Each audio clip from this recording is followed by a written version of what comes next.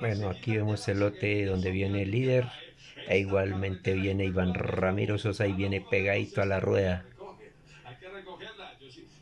La diferencia con el puntero Simon Clare es de 1.51 Sergio Higuita. Otra vez le ponen la pimienta aquí para poner en dificultades al líder Juan Pedro López.